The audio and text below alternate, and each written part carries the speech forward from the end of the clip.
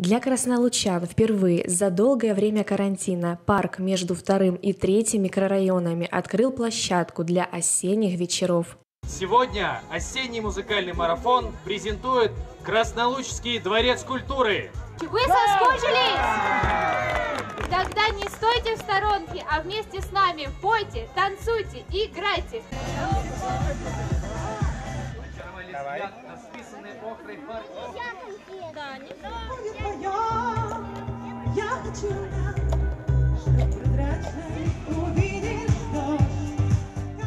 Веселое времяпровождение, шумные танцы, лирические выступления и различные конкурсы порадовали зрителей благодаря артистам Дворца культуры имени Ленина.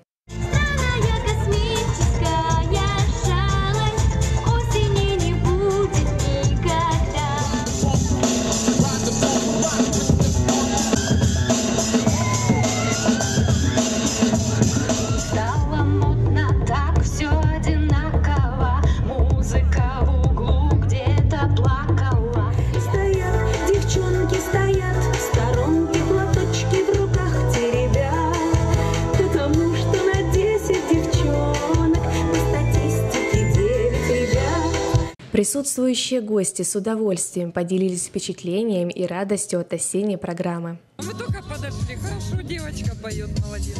Первый раз только концерт. Как вам нравится? Нормально?